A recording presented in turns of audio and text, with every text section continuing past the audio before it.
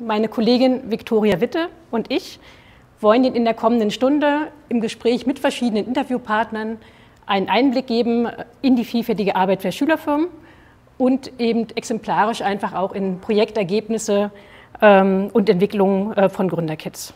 Der Fokus in der aktuellen Projektphase lag auf der Verstetigung äh, und der nachhaltigen Implementierung von Schülerfirmenarbeit in Sachsen-Anhalt, auf der Vernetzung der Schülerfirmen untereinander und mit der regionalen Wirtschaft.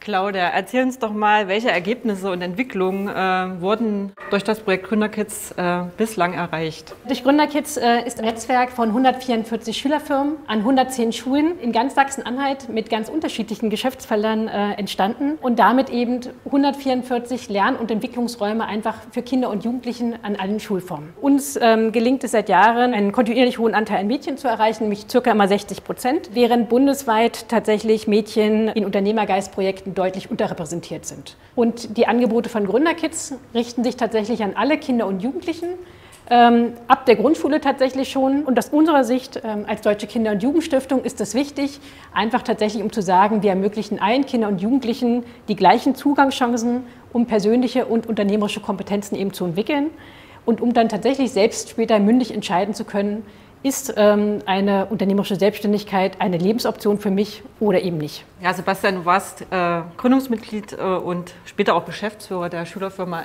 Zoom SAG in Hohenmölsen. Sieh doch mal kurz, was machst du jetzt und welche Rolle hat dabei auch die Schülerfirma in deiner Biografie, also rückblickend für dich gespielt? Ich bin Gründer von Nativ Digital. Nativ Digital ist eine Digitalberatung und wir begleiten Unternehmen auf dem Weg in die neue Arbeitswelt. Davor war ich Geschäftsführer von einer mittelständischen Unternehmensberatung und hatte zuletzt Verantwortung für über 100 Projektmitarbeiter. Grundsätzlich vielleicht einfach gesagt, äh, die Schülerfirma hat überhaupt den Zugang zum Thema Unternehmertum gegeben.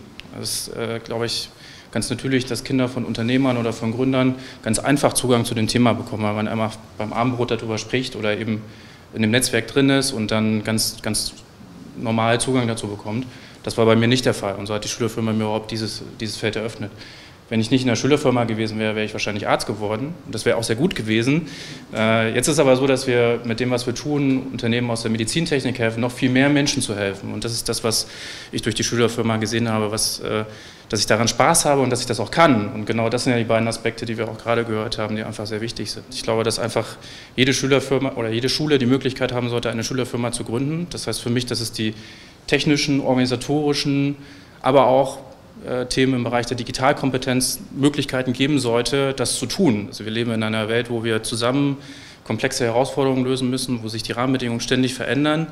Und dafür braucht man eben agile Arbeitsweisen, agiles Denken, äh, ich sag mal, die Fragestellung, wie arbeitet man zusammen äh, und auch das Thema Veränderung von Führungsbildern, Führungskultur und auch das Thema Demokratisierung von Wissen, zusammen ein Produkt zu entwickeln, zusammen an den Markt zu gehen, auch eine Rückmeldung vom Markt zu bekommen, ob das Produkt gut ankommt oder nicht. Das ist etwas, was wir dort erlebbar machen. Wir haben immer mehr gesättigte Märkte, wo wir uns eben, um konkurrenzfähig zu bleiben, auch äh, ja, darum bemühen müssen, innovativ zu sein. Und das erfordert Kreativität und das erfordert Freiraum. Und das sind alles Kompetenzen, die in der Schülerfirma vermittelt werden, erlebbar gemacht werden und gefördert werden. Und ich glaube, dass äh, man eben die Vernetzung, die ja schon da ist, noch weiter intensiviert, weil wir auch die Herausforderungen, die wir heute haben, machen nicht vor Ländergrenzen halt. Und ich glaube, da sollten wir auch den Blick etwas größer richten.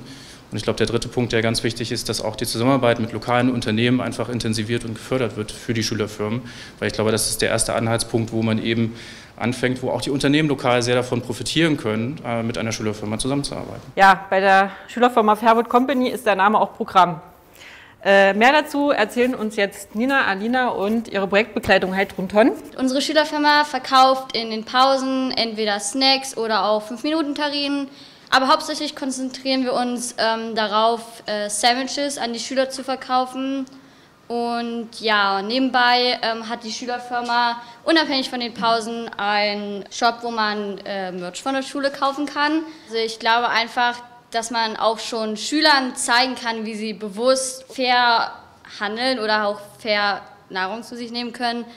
Ähm, und dass fair ja nicht unbedingt viel teurer sein muss. Aber auch, dass man so an der Schule was verändern kann und dass man der Schule auch zeigen kann, dass es auch noch andere Wege gibt. Innerhalb der Schule so etwas Aufwendiges wie ein Pausencafé zu organisieren, ja, Pausencafé ist ja nur ein Teilbereich äh, eures Angebots, ist wirklich total aufwendig. Da bleibt ganz wenig Zeit, um sich im Alltag einfach miteinander abzusprechen, auszutauschen, auch Entwicklungsfragen anzugehen. Also ihr seid tatsächlich eine der wenigen Schülerfirmen, äh, die sich die Zeit nehmen, beziehungsweise die, denen es gelungen ist, ja auch bei der Schulleitung das Commitment herzustellen, dass ihr jedes Jahr eine zweitägige Klausurtagung mit der Schülerfirma machen dürft. Was ist denn der Mehrwert, äh, der für Sie als Lehrerin die Zusammenarbeit mit Gründerkids bringt? Dann äh, hatten wir im ersten Jahr das Weltcafé neu gestaltet und da hat Frau Pilz uns geholfen, Kontakt zu André Holstein vom Grünstreifen e.V. aufzubauen, damit wir also auch, wir haben einen Tresen gebaut und André Holstein hat uns da beraten. Und diese Kontakte hat alles Frau Pilz ähm, uns zur Verfügung gestellt, hat uns geholfen, immer beratend.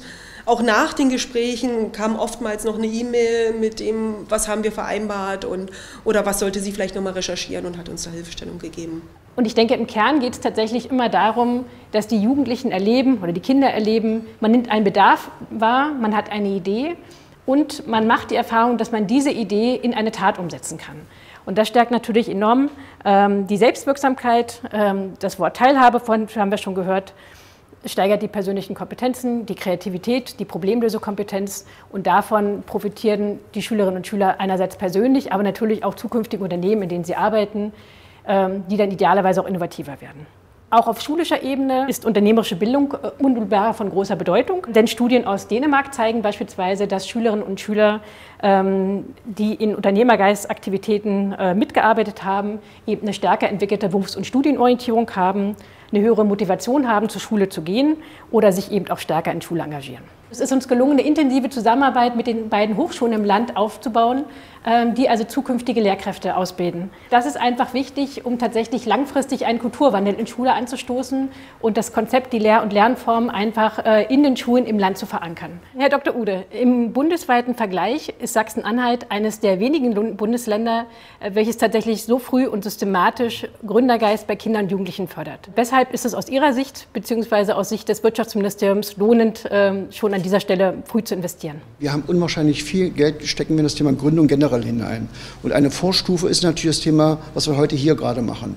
Die Idee, die dahinter steht, ist natürlich, dass man, das haben wir jetzt schön gesehen im Video, äh, junge Leute, so wie ihr es seid, auch heranführt in ein unternehmerisches Leben. Man findet auch ein bestimmtes Selbstbewusstsein, was man, glaube ich, auch entwickelt während dieser Zeit. Viele meiner Freunde, die in der Uni waren damals, haben sich eben selbst gegründet. Ich habe den Mut nicht gehabt, sage ich ganz ehrlich, aber ich habe sie ja betreut.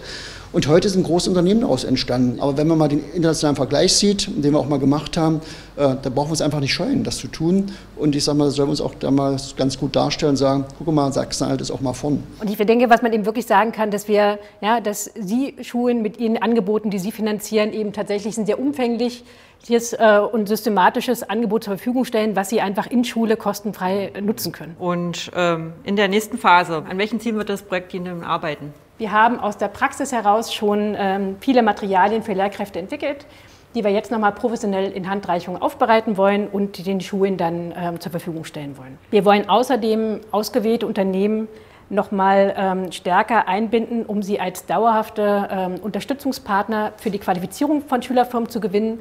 Also mit dem Ziel, dass nach Auslaufen der Förderung im Jahr 2022 ähm, eben tatsächlich die Unternehmen sagen können, bestimmte Angebote können durch sie für die Schülerfirmen stattfinden. Wir haben das ja schon kurz gehört, die Schulen stehen vor großen Herausforderungen und insofern ähm, haben wir jetzt, ähm, werden wir zukünftig ähm, auch ein weiteres ähm, Projektangebot äh, machen, nämlich tatsächlich, dass wir Projekttage in den Schulen gestalten, also unabhängig von einer Schülerfirmengründung, wo die Schülerinnen und Schüler eben Eigeninitiative, Problemlösekompetenz und Kreativität nochmal trainieren können. Ein letztes, ähm, vielleicht noch auch das Thema ähm, wie kann digitale Bildung und Schülerfirmen verknüpft werden. Aber aus unserer Sicht wäre das übergreifende Ziel für uns, dass tatsächlich Projekte zur unternehmerischen Bildung eben nicht zusätzliches, perspektivisch sind, sondern eigentlich integraler Unterrichtsbestandteil. Insofern, das wäre eine Vision, ja kein Ziel für die nächste Projektphase, aber dass wir dahin kommen.